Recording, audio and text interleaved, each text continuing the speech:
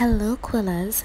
This is Polly P, and this is my March 2022 bullet journal setup, and it was inspired by International Mermaid Day. Funny enough, uh, this holiday was actually started as almost like a promo to encourage this show that came out in 2017 called Sirens.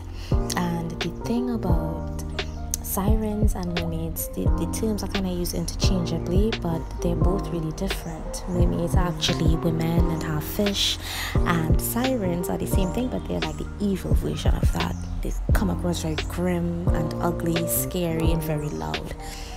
So I decided to do the mermaids, the softer, sweeter side to this mystical creature.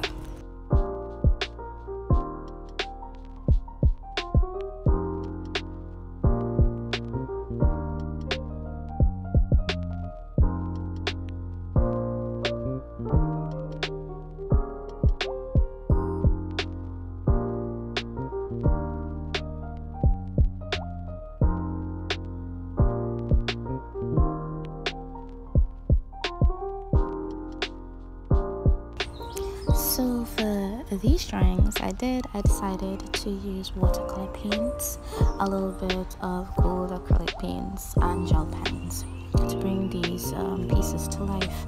And uh, for the mermaid, what I I like is being able to blend the colors in together. Now, as you know, these papers are not watercolor paper at all, and so I had to find ways to be able to use it creatively to get the effects that I wanted as best as I could.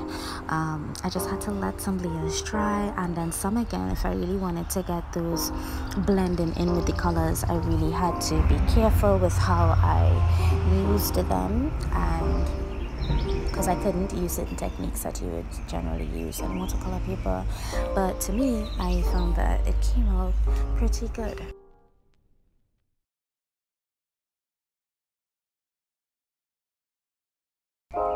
Now doing up the calendar, I left it really simple. It took up most of the page anyway, so I just drew a little fish at the bottom and I painted in the letters with acrylic paints. So for my habit tracker, I was real happy with how this came out, guys, because um, I just drew this nice little mermaid that was like swimming up to the surface. She probably wanted to feel the sun on her skin or just explore something. I don't know, but I just love how it turned out. I actually really enjoyed how I was able to blend colors still on this particular type of paper and um, to just create this kind of underwater world around the habit tracker the best way that I could. And I just found that it came out real, real nice. So I was kind of surprised at how good it came out. So I'm happy with it. So that is the most important thing. So for my mood tracker, I decided to paint a mermaid and um, just have it color coded this month where the shell actually is where the actual mood tracker that she's holding her hand. So as the days go by, you color code depending on the mood that you're feeling, and on the right hand side, you write down the mood that you're feeling at that time. Um, this particular mermaid, I wasn't too too happy with how it came out, but I tried my best to make it look as decent as possible.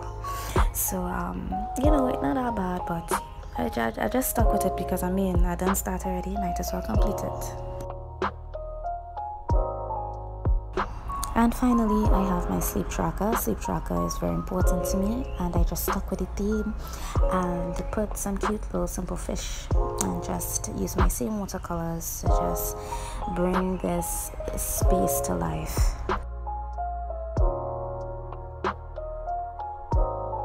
So, Quillers, I hope you guys enjoyed this bullet journal setup of mine, and you can feel free to recreate it or do your own thing. And um, like I always say, it doesn't have to be this elaborate. Just start bullet journaling. It can be so effective in monitoring anything that you want in your life. It's very soothing and so calming.